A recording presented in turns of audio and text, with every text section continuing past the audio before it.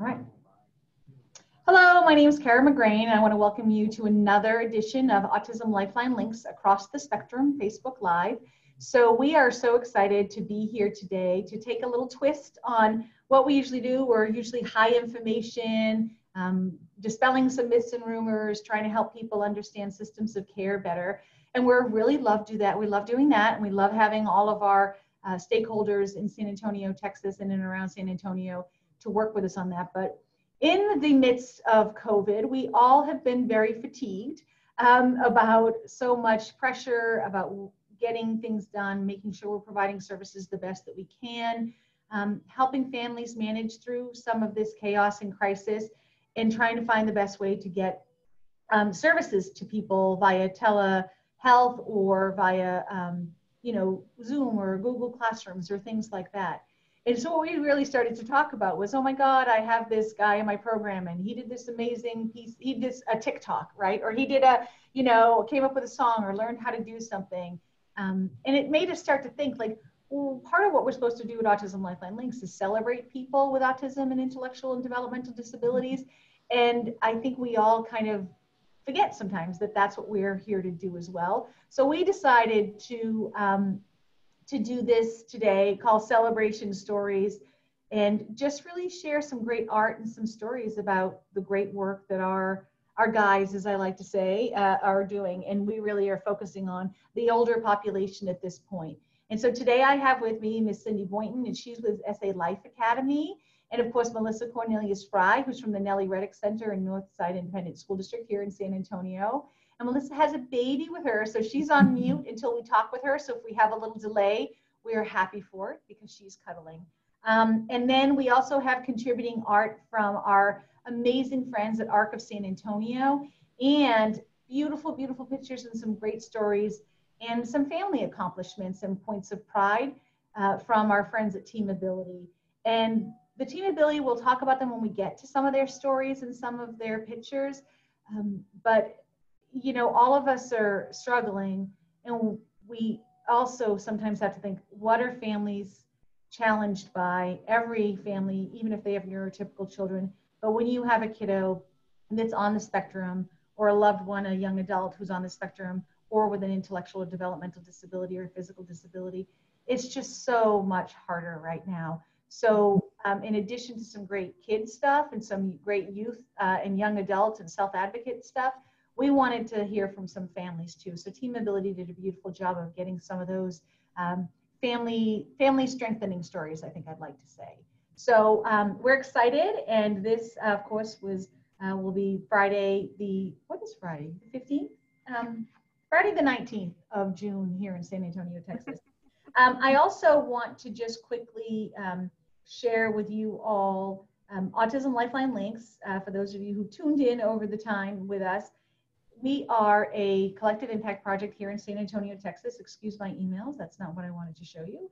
Um, and we are here to try to um, eliminate barriers of and break down silos between agencies who are caring for people with autism and intellectual disabilities.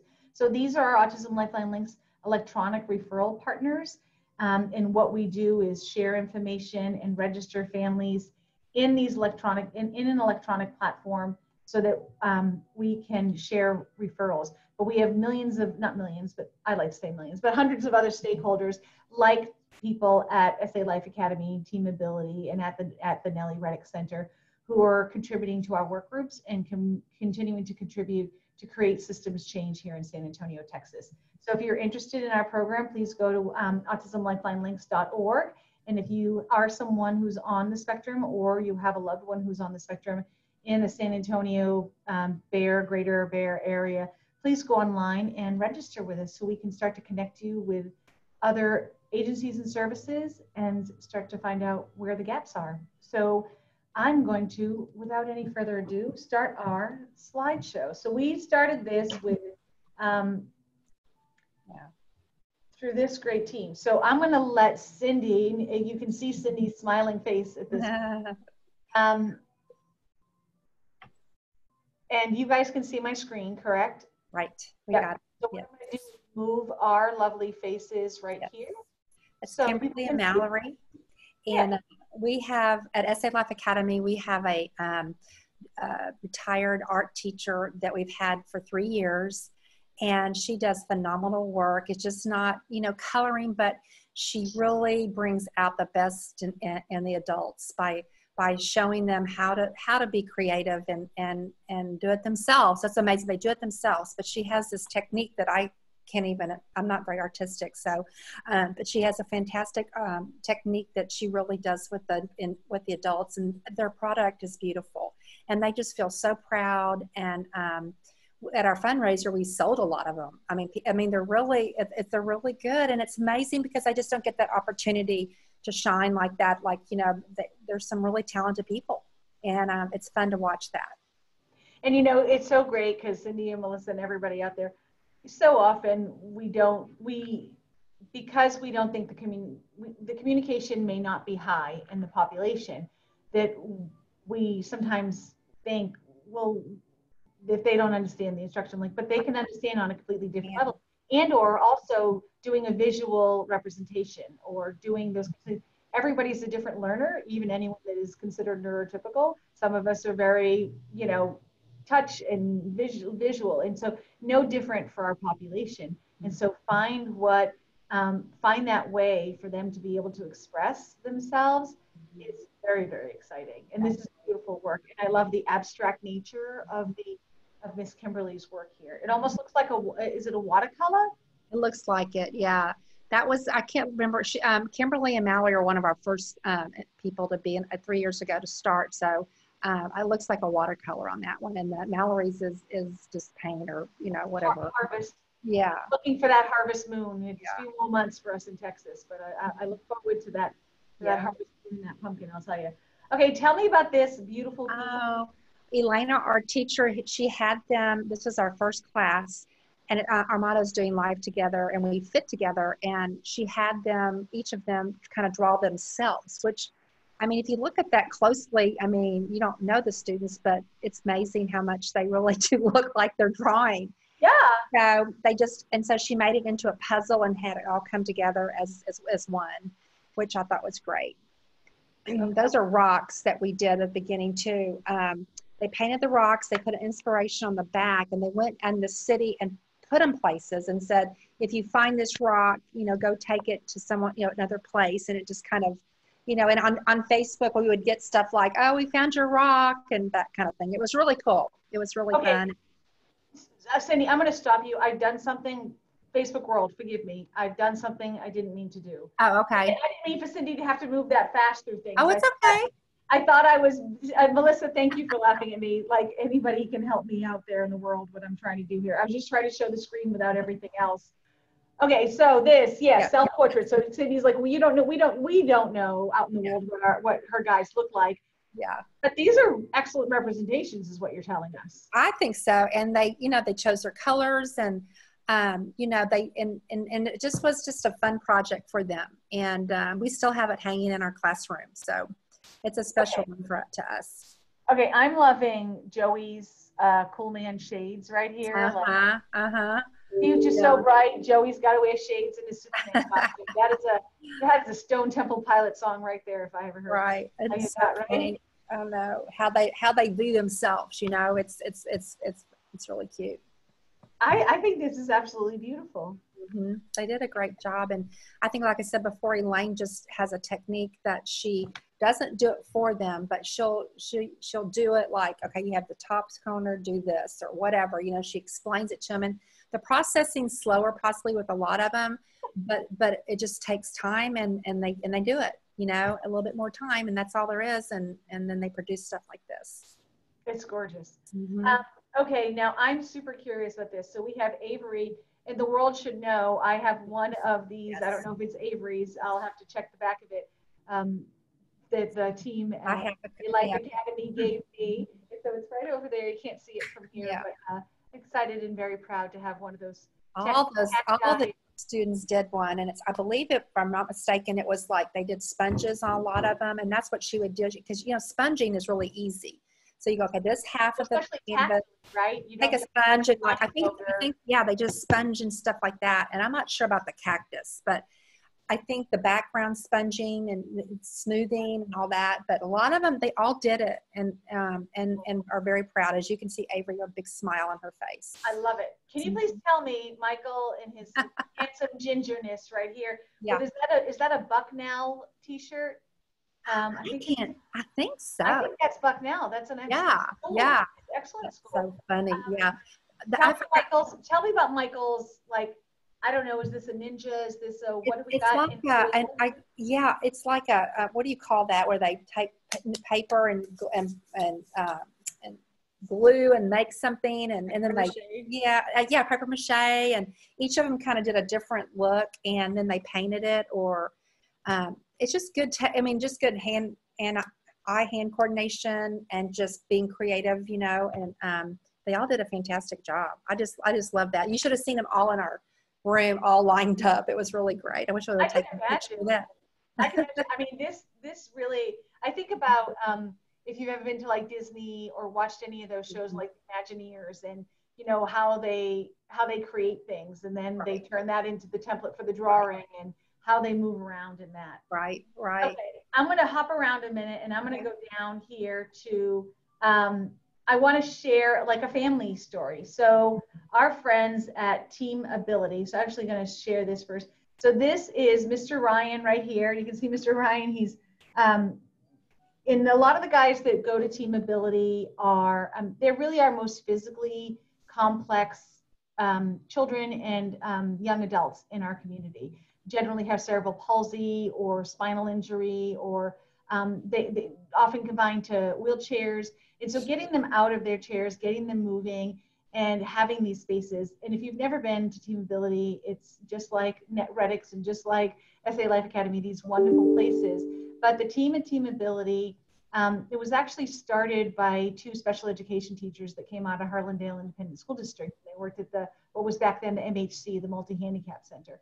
And I show I have a big smile because um, I, I have I've known them and known of them since since I've been in Texas. And so let's just say they started Team Ability and you go over them. What they do on the budget that they have is miraculous, especially they have that teacher instinct to take you know empty water bottles and turn them into therapeutic toys and they they do so much of this amazing creativity and i think that that's really remarkable for a number of reasons um, because it also lets families know that you don't have to have the million dollar piece of equipment in order to engage or stimulate or do anything special with your kiddo. And I see you both nodding because that can be super intimidating. We can all walk into places, and I can name a few that they're doing great work, but oh, the equipment and the budget. And I know we all three of us know what buying some of that equipment costs. And that can be intimidating, right? It's like, how am I going to do this at home? And so Team Ability has always, since its inception, been insanely resourceful and pragmatic about how they approach the tools with which they that, that they use and engage their clients and then teaching that to families. So you can see this is ryan he's getting his ot session. And so we want to talk for a moment about telehealth because in the covid space telehealth whether it's for occupational therapy or speech therapy um, obviously many people have done it with their practitioners their medical practitioners and their um, psychiatric or psychological professors and uh, professionals not professors sorry. Um, and so this is Ryan getting OT. And you can see at home, he's got all sorts of the jumbo balls. And down here, you can see mom uh, with the pink shirt, probably who's doing some of his intervention. But my favorite part about this is Ryan probably doesn't have a ton of mobility, but what can Ryan give us? Ryan can give us a thumbs up, right? And that says a lot. Um, and Team at Team Ability has always been really great that even if it's just that finger or that thumb or that one little motion that they can have, it is imperative that we maintain that for them so they can have whatever independence or whatever communication this might provide. So kudos to them. I'm going to show you two. Um, uh, Barbara and the team at Team Ability got us some quotes. So this is Ryan's mom, and this is Ryan right here, right? Um, that, you know, I, am going to make an assumption. I don't know Ryan, but he, he probably doesn't have high communication skills. What Ryan's mom has learned in this period is that he can become sad and smiling like frowny face, right? Like he can be sad or depressed because what he just like all of us we miss our family we miss our friends we miss going out we miss socializing. I miss soccer. I play on a women's soccer league. I miss that so bad. And but i have the ability to know that this too shall pass. But what they did is when they were able to, and this wasn't right at the beginning of COVID for the world to know, it took a little time for teletherapy to get approved. So in that time, Ryan got a little sad, but I'll tell you what, when ter- teletherapy happened, it was wonderful for Mom Reports, was wonderful for his depression that the Team Ability team gave um, Ryan's mom strategies for activities, but also ways to make the activities more meaningful to Ryan. And although he's still sad because he misses routine and he misses his socialization, um, she feels he's a little more like himself. And that is just a beautiful thing to hear and know. And we talk about it all the time that our guys that have disabilities are absolutely no different than us neurotypicals out in the world. We have more sadness, we have more depression, we have more isolation. And just because he can't go out and, you know, run a marathon and do a big party doesn't mean that he isn't also sad. And so let's always remember that as we move through this. And then Alex's mom um, said that he's really missed out on the interactions of being with his therapist and the other kids because it's a small place and it's busy. There's all sorts of guys around and all sorts of great noises and stimulation. Um, but they feel that they've missed out on some of that, especially his vision skills um, during his therapy. But they have learned how to be creative. So, kind of what I said before about the example that Team Ability sets, that how they've learned to be creative and come up with ideas for doing therapy at home and making the activities on their own. Um, and one of our Facebook Lives coming up is going to be that, like how we're from one of the school districts uh, how to try to find the stuff around your house and make it into things that can be part of activity. So, um, like the mom made a light box for him, um, and she's saying she's not at all creative. So, thank you to Ryan and Alex's Al, Alex's Al, Alex moms for sharing those great stories and sharing these images of your of your adorable, wonderful, resilient children, and of course to the Team Ability team. Here's just another adorable picture um, about therapy happening, you can see that doesn't look like a happy kid right there, right? Isn't that mm-hmm. exciting? So even though they can't see her um, in person, of course, that's always a tough one. Connect four, that's good stuff. All right, so now I'm going to go to Melissa. Are we good? Can I put you on on sound? Yes, okay, excellent. So um, the team at Nellie Reddix, again, um, if you don't know, the Nellie Reddick Center is how would you describe it? Like the, I don't want to um, transition program for Northside ISD. And then we also house um, our students that have higher medical needs than can be met on a general ed campus. Thank you. I mean, I remember when this place first opened and it's up near the medical center. It is a beautiful campus and they've got a pool and they got all like therapy and all this kind of wonderful stuff happening there. And it's great. I personally love going there because you have guys who have who need tons of intervention medically and physically and then you have these transition age guys some of whom like they've got a lot of them have jobs and they're riding the via and they have these great swaths of independence and it's a reminder to all of us that again just like us stereotypicals and just like any other high school in america you go in and the range of kids is broad and the range of kids at Reddix is just as broad all with a little qualifier and so I'm going to have, so Sarah's story. Do I have a picture to go with Sarah? I think that's like two slides down. Okay. Sorry, we, uh. That's okay. Is yeah, Sarah right there. So, um, Sarah. A lot of our young adults, when the quarantine started, um, they were feeling really disconnected. You know, it was hard for them um, not seeing their friends every day and um, it, it was stressful and a lot of them were getting kind of sad and so um, we started online learning and we were doing a lot of google meets and zoom and so sarah and um, her family came up with the idea to do a little movie night for sarah's friends and so um, they have it set up with a schedule so everybody jumps on about 6.15 they have 15 minutes to say hi to every you know to all their friends talk about what's going on. They'll watch the movie for a little bit and then they take a break. Um, and everybody gets unmuted and they can chit chat some more. And so it's just a fun way for them a to. Little intermission. A little intermission. it does have an right? intermission. I and love it. The, um, they're continuing to do that. It, it went so well. They've continued to do that through the summer. So, um, and they keep inviting like first it was just her class and then it was okay we'll invite the class next door and then now it's um, pretty much everybody on campus that the mm-hmm. family invites to it. So it's fun because the young adults get on there, some of the staff will get on. Um, and so everybody gets to see each other. It's just a fun way for them to hang out since they can't physically hang out together. Yeah. I literally have goosebumps right now because you think about again, like how many families are doing this. Mm-hmm. get together for meal times or for movies or we're doing my son's graduating or has graduated from high school. And so my family's I mean, not only our family here in town, but in Boston and California and New York and Rhode Island, like so doing this kind of thing, it's really wonderful because it, the celebrations and the fellowship doesn't stop.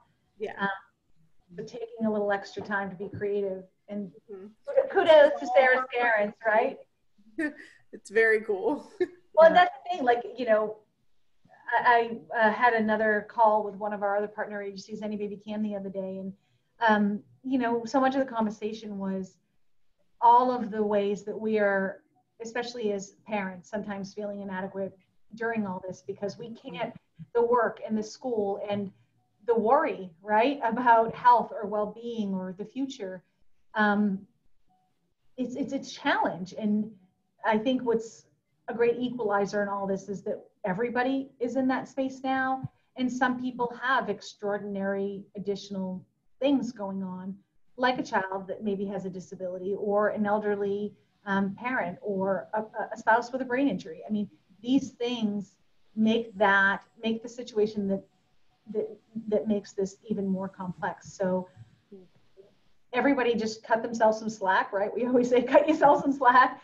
Um, and these these things that are not highly complex, but they're they're super wonderful and celebrate that Sarah's mom and dad and friends and anybody that goes on it because you're making everybody that goes on that's making everything better for everybody else too, right? It's fellowship, which is a whole lot of fun, that's for sure. Our teachers at SA Life Academy, they um, did Zoom three times a week and one was social, one was workout, and then we had the art teacher have us have an hour um, thing on for art, and we would send um, send the families you know, packages, you know, from emails and they, you know, copied off. And so there was still a lot of, you know, kind of not learning going on and communication. But um, I think it was interesting. I had one, one mom say that it kind of helped like teach my adult time and what's coming yeah. next. And oh, so yeah. there was some positive things, you know, about the Zooms and stuff too, you know. It really helps them can feel connected.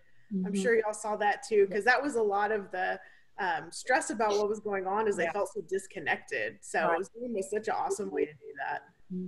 You know, and, and to that point, Cindy as well, I didn't think about this until you said it, right? But when they go to school for Melissa or they go to, to SA Life with, with Cindy and their teens, like the time management things, like they're they're in school, they're at SA Life. So they know a schedule, but almost on the next like not almost but definitely like next level. Mm-hmm. they're and they're not with you physically. They're not with either of you or any place physically except for at home but they still have to do some sort of time management and know that even though we're at home things come next. Like it's I, wow that's like nice abstract scheduling right? And, exactly. And I, I mean, and, and we started back June 8th, and I and I've just been so impressed with our adults on accepting the situation, masks and social distancing. And I mean, they have been exceptional. I, I have to admit, I was a little worried at first, thinking, okay, are we going to be able to do this, you know? But they've stepped up, and I think they almost feel typical because they've probably seen it on TV or they see, they, maybe they've been somewhere with their parents. And so they go, hey, we're doing the same thing everybody else is doing. Right. And they kind of think it's cool, I bet, you know? It's so funny, another equalizer, right? It's like, always feel exceptional or that all the things we learned in our adult listening session that you two were so helpful with bringing all your guys from from school and from SA Life. Yeah, we're all we're, we're all we're all wearing masks. We're all stuck at home. We're all living life on Zoom.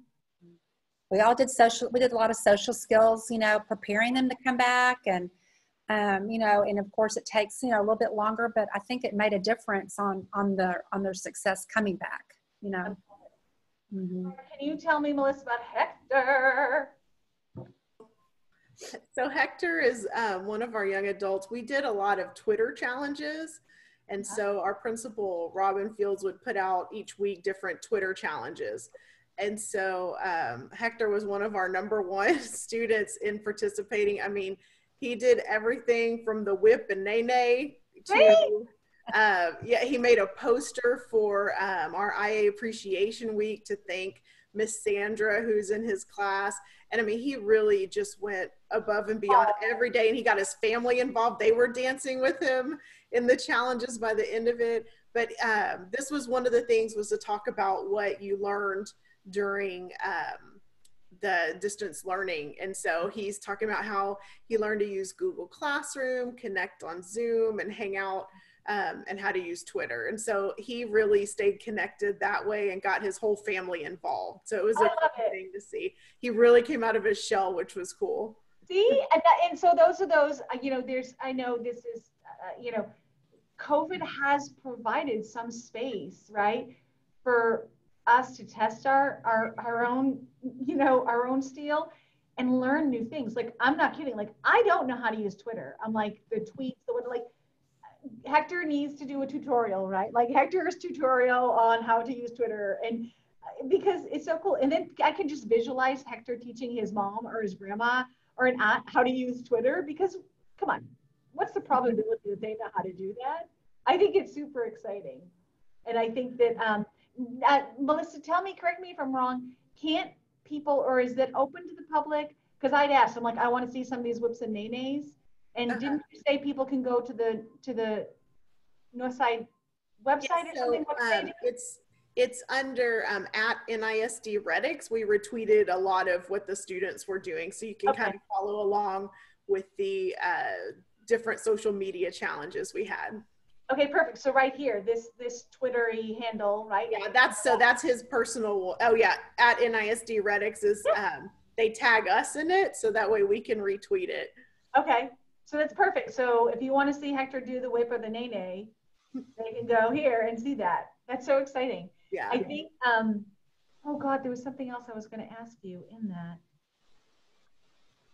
Um, so is Hector? Is is he one of the guys that? Um, has how like you don't tell me how old, but like does he have a job? Is he still in the pre-transition? Can you? He's, he's doing job training right now, okay. so he he just started with us. Um, and I that's what I remember. Thank you. Is that if you go um, on Autism Lifeline Links website and look at our Facebook lives, um, or go, Autism Lifeline Links, click our Facebook, right? Go to our Facebook and all of all these videos that we've been doing for over a year that we do one a month are there. And there's an amazing one that the Natalie Reddix team did from the um, Texas Transition Conference. And who knew it was, this was only a month before COVID, right, Melissa? And it is all these amazing um, tools, tricks, free things that you can use with your phone, whether it's communication, mm. transportation, or other things. So please go and look at our other Facebook Lives, and that was done during the Texas Transition Conference. And I think it's called Don't Put Down the Phone. Because so often we're talking about put down the phone, put down the phone. And what Melissa and her principal and one of the teachers did was um, we, we did a whole Facebook on, oh, what about this? Like, you, if, you, if the phone's going to be there and we all know it is, let's use it for good, right? And so, did you have something to say else about that, Melissa, or no? Um, I mean, it's it's been good that a lot of our students we try to integrate technology early on. So you know, it was a little easier for them to connect. Zoom and Facebook, um, not Facebook, Zoom and Google Classroom were a little newer to them, but a lot of them um, already knew how to do video chats and that kind of stuff. So it came a little easier. That's excellent. All right, now I'm going to bounce back to you, Cindy. Okay. Uh, I, I, know we had to do because I messed up on the video streaming, yeah. but tell me, I know I've walked around my neighborhood uh-huh. uh, more in COVID than I ever have, but uh, not as much as my my muscles should have. Let's just say. so. Um, tell us about these rocks and then what you guys did yeah um, it was like our first class and they painted them and you know did two or three of them and then they put like inspirational things on the back and said you know um, my, my student from SA Life Academy um, go and why don't you go and place it somewhere and let someone else find it and, and and it was just really cool and some of some of the students found other people's rocks too but we've got some communication on our website that they had found the rocks and all that so it was fun it was kind of just kind of getting out in the community and just it was really fun to watch how that kind of snowballed and this is kind of a thing right and it, it isn't respectfully originated at SA Life Academy, but I do have that question. Like, is that rock there for me to pick up and enjoy, or is that rock there? no, I'm not kidding. Well, this is a pretty rock, I, and then you kind of go, oh. Curious. I'm yeah. curious because yeah. I see them and I'm like, uh-huh. You know, is it is it like um, Mother Earth when you're out there yeah. right? Leave nature as you found it. My mantra to my boys yeah. to this day. Like, oh mom, can I take this? I'm like, oh, leave nature as you found it, buddy. Leave nature as you found it. this is a little less naturey because it's been right because it's pretty and you know it's not nature.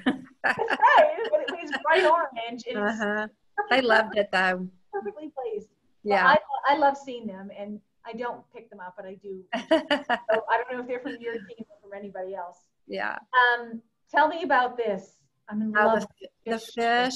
That was like in our fundraiser. We were displaying, you know, all of the art types of art that they did and the fish i love the fish they i think i think i'm not like i said i'm not a very good art, you know art but i think it was sponging yeah and they picked their colors they did the background first there's just like steps one through 10 of whatever let's first pick a background and let it dry then they go let's do this and so the fish are one of my favorite. We even made cards, um, note cards out of those. Ooh. And yeah, it's fun. And, and we did it with a lot of their artwork, um, the, the blue bonnets and different things, and, and we give them away and stuff. So it's kind of fun, and they're very proud of that. And on the back, Elaine puts the technique she used to produce oh. that art. Mm-hmm. So it's really cool. Um, yeah, thank you. She just gave it to me. Yeah, like you know the process of how they got about it. They like, for example, the fish the artists used acrylics to paint a background on the canvas and to blend grass colors on mixed media paper as well as to make a, uh, prints from the realistic fish models. And so it tells how she got them to produce that piece of art. That's so. really great because so often like you can see something it's proprietary information art, you know, and I'm like, no, if you can tell people how this is done, um, a family can be empowered right. again use that technique at home, even even with other family members, and to Mm-hmm. try to do something that's remarkable. Can you tell me about art? Uh, uh, art, art. I, I He's really good. Um, he does private lessons with our teacher too, and he is very proud of his. Art loves art, and uh, the art, and he it's the same blue bonnets. Everyone kind of had a different look on the blue bonnets. It was sponging, and just I just love the colors he used, and he was very proud. Yeah, I, I, I'm proud for him. I'm looking at like you're saying these these colors on this right one. Uh huh. Isn't it crazy? Yeah. Mine would be I- like I'm blob, just- yeah. blob, blob. hmm They really, really enjoy it so much. So I was just, I'm, I'm glad that we incorporated that in our, in our, in our curriculum because it really shows what a person with a disability can do, you know? That's really great, Cindy. Because Mhm. I mean, like, and and our guys don't always have exposure to summer camps that are doing these Yeah. things or other holiday camps um, because of their intellectual disability. Right. And it's one of those exclusionary things, not not Mhm. not in not in evilness, but just out of ignorance. Right. So being able to reintroduce that to them at this transition age and into adulthood, Mhm. um, because we all need something, by the way, that gives us joy and gets our brain right, gets our brain moving. And so art is a beautiful way to, to do that. And so art or music we do music too and, and some people are you know like anybody you know i mean i i'm not an artist you know i'm not really a musician either but uh, but um, it's it's fun to see to watch the adults kind of do what they like the best you know and how well they do it so All right, I'm going to share one story. So this is from um, our friends at ARC, and uh, I believe Mike or, or Heather sent this over. And so this is Sean, um, and Sean, you know, I, I get frustrated with puzzles. I'll be clear. I tried during COVID, but I need it done. I need it done. And so Sean, um, what they, with the team, and again, because what's important to remember is that even in COVID, all of our friends at Reddix and in the ISDs and the teachers and the SA Life Academy and at the ARC and at Any Baby Can and REST, but none of the special, special reach, all of our partners, nobody stopped working or providing services. They just had to pivot, is the term everyone's using. They had to pivot and get smarter and fast about technology and how they were going to provide services. So it's really, I think, important to remind everybody that this has all been done in adversity with short money for nonprofits and ISDs and still with remarkable results. And so it's clear here from this story that, uh, you know, Sean makes a puzzle and Sean's making snacks, ooh, ooh, ooh, out of jello. Um, and so he's got all of his ingredients and they had to go back and make a daily calendar for, for, for Sean um, because as I'm saying, life was roped in by breakfast at 8 a.m., lunch at noon, and dinner at 6, and TV from uh, at 11 for him to watch The View. Oh, he likes The View. Um, and at 1 p.m. for Days of Our Lives. Oh man, after my uh, isn't that excellent? Um, then they had the other hours to walk, exercise, um, do a game, play puzzles, paint, um, some alone time, reading, playing with books, and just to just like his day would be at the ARC when he was in Dayhab over there. And so um, again, like you know, we as as as people without disabilities, it's up to us to try to help figure that out. But our population needs a little help to help them figure out what that schedule is and to stay on that routine. So kudos to all of the teachers doing it by Zoom or nonprofit agencies doing it by a Zoom or text or and of course to the parents or caregivers who have just been champions through all of this. Um, all right, we have a few more stories here um, from Melissa. All right, Antonio, tell me about Antonio. That is a handsome picture. So a lot of our um, teachers and instructional assistants, they would do parades. So they would go and visit all of the students' houses and honk and um, throw out lays, as you can see around his. I'm like, I need one.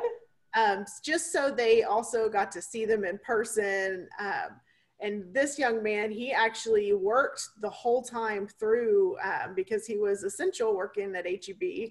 So um, he was still connecting with everybody um, in his phase three class, um, everybody who's working in that kind of stuff. But um, he he had didn't do as much there because he was working a lot. So, but he, it was a way his mom posted this um, to share how special his day was that he got to see all the staff come by. I, that's just so wonderful because you know so many people have done like the drive-by birthdays, the drive-by graduations, the drive-by, the teacher drive-bys, right? And so yeah. um, it's just as important to our guys on the spectrum with IDD as it is for any other kid, and just just as special. So I think that's great. And I want to also say the another shout out to the team at Reddix, um, and I believe the HEB at um, I-10 and De Zavala, or is De Zavala I-10 and De Zavala is our training site. They, I mean, they that HEB has been amazing with the team at the Reddix, and a lot of their guys are the training through there. And so uh, I guess you could see Antonio hanging out at the HEB at De Zavala. Um, this typifies and can be one of the things we kind of close out with about um, what life in COVID has looked like and how it looks, again, no different for our neurotypicals than our guys uh, with an intellectual disability or on the spectrum. And that is this all too familiar image of this. Tell mm-hmm. us what is going on and what is Miss Cornelius wearing? So this is one of our um, our volunteer classes, and they would do class meetings daily, and they also would do a lunch bunch. And so we did a superhero theme for our um, for one of our um, social media challenges, and so they took it to the class, and so they've all got their superhero theme stuff going on. Um, and that's Miss Brittany's class at Reddix. So they would get on Zoom and everybody's having a good time in their costumes and seeing what everybody else is wearing. Mm-hmm. I, am just like laughing. So, so I'm like, of course, um, I'm not sure what Elizabeth Cornelius is, but I'm loving the peacock. I don't know what a superhero she created, right? Um, tons of cool T-shirts. Terry um, with his Batman signal in the background. Is that is Terry the is Terry the guy that's helping us out on the streets when the bat signal goes up? Some hokey what what's what's what's this? This almost looks like a Pokemon or Winnie the Pooh. I'm not sure what all the costumes are. and look at Leonard. Leonard's happy as anything. I love it. I love it. Um, and who's this? Uh, another HEBer. That young man got hired during COVID. Oh, cool. Nice. Mm-hmm. See? Success story, success story, success mm-hmm. story. And I think we'll end with this one from um, a parent. This is the father of, um, I'm sorry, Dad, Busiki. Sorry, I didn't, I didn't pregame that one. Um, but basically, he sends this letter to the team at Team Ability and how Team Ability has helped bridge the gap and learn new ways to teach at home while doing therapy via telehealth. Um, being at home with the two boys with different needs, and they need help with their learning and new ways to keep them engaged with activities to play. Um, going to the center, going to the Team Ability building and center was always fun because um, you can enjoy new sensory experiences. And it is, I told you, it's one of the super cool rooms. And, and the parents can learn from the Team Ability therapists as well. And so we talked about that a little bit earlier. And they, the, the team always comes up with new and innovative and creative ways. Um, and the, the guys that attend that and the parents really enjoy that time. Uh, but with no school and the kids at home, um, that again, we talked about caregivers taking on many roles and that that he that he really feels his son needs his team and that how they're always cheering him on. So having that um, having that extra set of people in your life when you have a child with a disability or a young adult with a disability is so very, very important. And we are proud at Autism Lifeline Links to know that we are working every day with um, these 14 electronic referral partners as well as um, the non-referral electronic referral partners that work in our um, stakeholder community engagement and public policy work groups like the guys at Team Ability and Nellie Reddix and um, SA Life Academy, and uh, I mean, just countless other people who are working every day to try to support families who are caring for a loved one with a developmental disability, um, an intellectual disability, or autism spectrum disorder. And so we want to thank all the parents and caregivers out there who are uh, doing a great job. I know it doesn't seem like it, but this too shall pass. But um, and thank you to all of the people who are helping to try to keep our families and more importantly, our population engaged and stimulated so that they don't lose the valuable skills that you've all taught them over the you know the past years and the past you know year leading up to COVID especially. Um, I don't know if you either of you have any other parting thoughts or words um, that you'd like to share. Um, and thank you to everybody for sharing their amazing images and stories. I was just gonna say it's it's been a learning experience for all of us, but a good one. Mm-hmm. I think it makes everybody appreciate your life more, and I think the adults are just so happy to be back here with their community, and uh, and I think they have a sense of appreciation, you know, which I think is a something that's that's good for them to understand and experience. So. I do. So a little more growing up, right? A little, a little more of that kind of stuff. Well, thank you so much, Cindy and Melissa, and um, of course to Barbara and her team over Team Ability for sharing these um, great stories. And everybody stay safe and stay well um, and keep producing art or music or uh, TikToks or dances or workout videos, any of those things that are bringing you joy um, and keeping your brain and body engaged. Be well. Thank you. Thank you.